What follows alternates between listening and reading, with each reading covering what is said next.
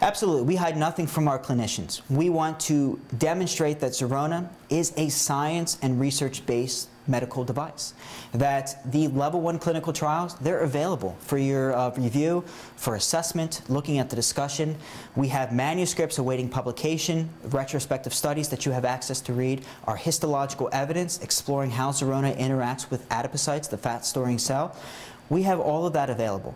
Uh, nothing is hidden, nothing is based on small pilot investigations. Everything is 100% grounded and founded in pure science data. And that's imperative for clinicians to embrace and understand is that for too long, aesthetic devices and medical devices have entered the market and have saturated the market without firm scientific backing.